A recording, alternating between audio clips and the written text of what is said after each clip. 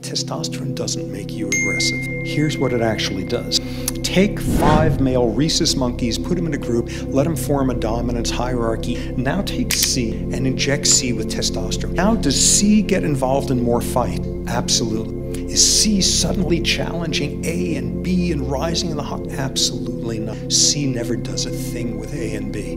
What happens instead is C becomes a total nightmare to D and E.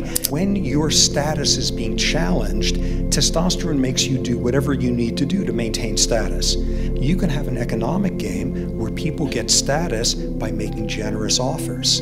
Give people testosterone and they become more generous in the game. In other words, if you shot up a whole bunch of Buddhist monks with testosterone, they would run amok doing random acts of kindness all over the place. The trouble isn't that testosterone makes us aggressive, the trouble is that we reward aggression with status.